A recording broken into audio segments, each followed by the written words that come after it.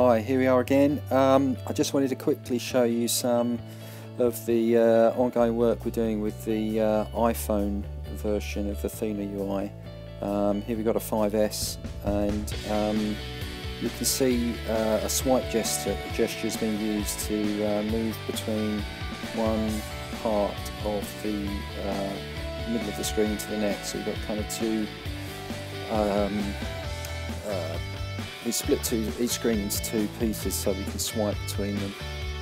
The top bar scrolls horizontally as it, as it has before, but it's particularly useful here on the iPhone. Um, these are inactive uh, devices, so they're not responding to touch here. In a second you'll see I'll swipe across, there's a swipe, and a swipe back. So that's how you navigate from one side of the screen to the other. Um, select different uh, uh, doing a sources screen here um, and uh, going to see the uh, revised Sky Remote shortly which will um, show how the uh, UI has been scaled properly for the uh, iPhone 5S screen. Okay, that's about it. Um, more coming soon.